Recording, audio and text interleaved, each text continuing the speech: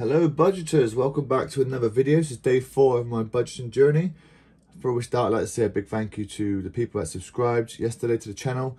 Uh, one person from Singapore, so that's amazing. Thank you very much. Welcome to the channel, guys, and um, thank you for following the journey. So today I have assessed some situations because obviously I started this journey mid-month, so what's ended up happening obviously is that I won't have enough put back in these folders for the bills because this is all based on a 28 day schedule so four weeks. So obviously what's going to happen is that we're going to fall short because we started halfway through the month. So I've worked out a couple um, bills that we have to increase the value of start putting back a bit more money to ensure that when that day comes it's due. We will have enough put back in these envelopes we have to worry about anything so the rent is one of them and the gas and electric is the other. We've doubled those um, those stuffing envelope bills.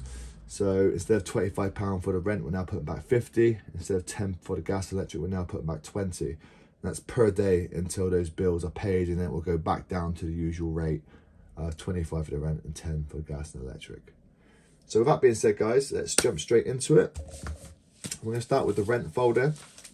So we need to add £50 to the rent. 20, 40, 50. That's now given us a total of 20, 40, 60, 80, 100, 120, 130, 40, 50, 60, 70, 175 pounds put back for the rent.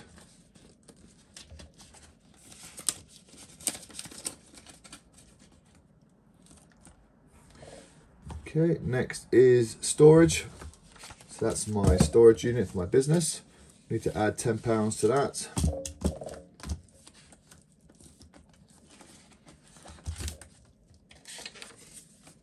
Giving us a total put back 10, 20, 30, 40, 50, 60, 70, 80 pounds put back for storage.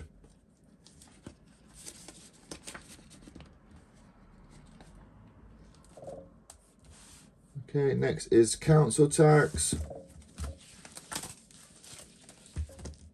And we're putting back five pounds for the council tax.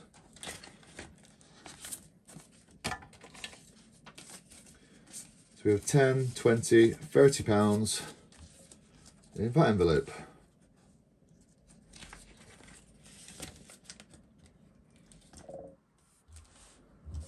Okay, the next one is the gas and electric. This is what we doubled again, same as the rent. So we're putting back 20 pounds a day now for that. 10, 20, 30, 40, 50, 60, 70 pounds. 70 pounds put back in that envelope for the gas and electric. Okay, the water bill is not due to be paid until the 19th or the 11th. So you have to worry about that one. And the Barclays credit card debt is £5. Now, I emptied this wallet today because I paid off the, uh, the credit card for the month. So that's now been reset. So now I have an entire month now to obviously start getting that ready for the next payment. So we're going to start with the first payment of £5 in this envelope.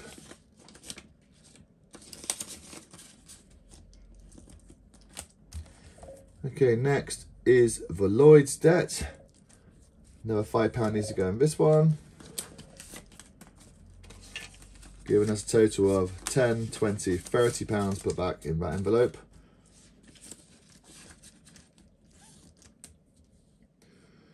The capital credit card is not due to be put back until the 19th as well. Biffa waste bins, that's for my business. That needs £10. Now that is due to be collected on the 23rd. So I do need to make sure that I find something to put this money into because this bill won't exist after the 23rd. I'm not entirely sure what that's going to be yet. I haven't really thought about it. But anyway, so we have 10, 20, 20, which is 50 pounds put back for Biffa waste bins. 50. Okay, the Vodafone bill is not due to be put back until the 19th. Three mobile not due to be put back until the 18th, so we'll do that tomorrow. Van insurance isn't due until the 19th. Same as the van tax. QuickBooks, my accounting software, that's also not due until the 19th, so don't have to worry about that. Business pot, we need to add £35 to that one now. 10, 20, 35. This pot's growing quite nicely now at the moment. Have a total put back 10, 20, 30, 40, 50, 60, 70, 80, 90, 100, 110, 120, 130, 140, 150, 160, 170, 190, 210, with a 5 for 215 pounds now put back in the business pot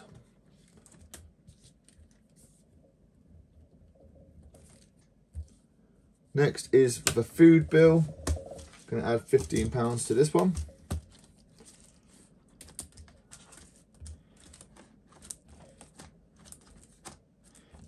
Somewhere. I should probably put these envelopes in order, would make more sense. Where are you? There we go, food bill. So, like I said, £15 for that one. That gives us now a total of 10, 20, 30, 40, 50, 65 pounds put back in the food envelope.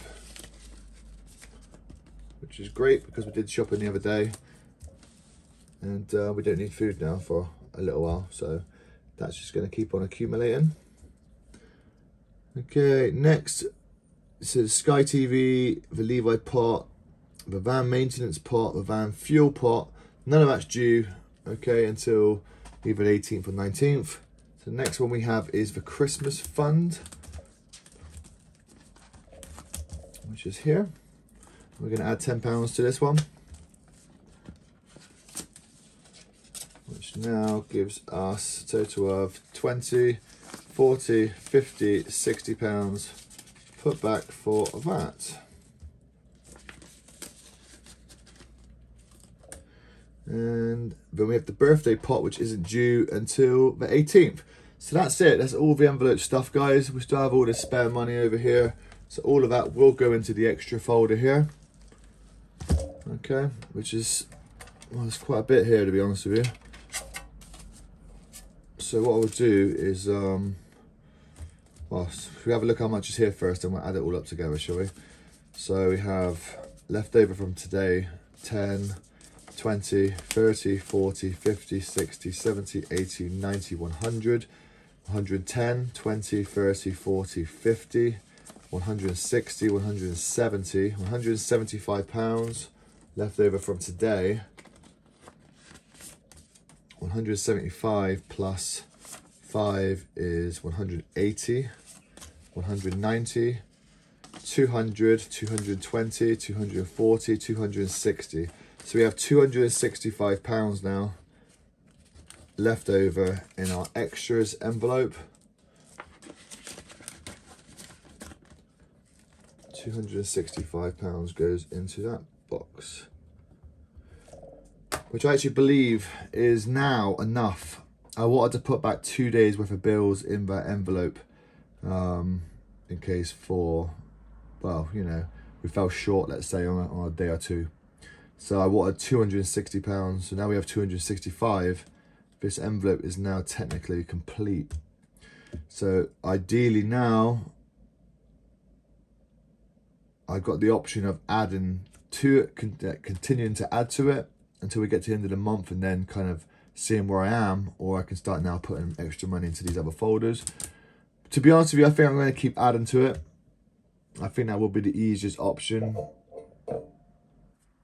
and um, it kind of kind of see where I am at that point and then obviously I can leave that 260 pounds in there for the extra couple days whatever else is in that envelope I can use to pay some other bills with or pay off something let's say we'll see how it goes guys but anyway that's that So that's today's uh, cash stuffing. We have another day tomorrow to do. So I will see you all tomorrow. And um, yeah, have a great day. Take care. And um, happy budgeting.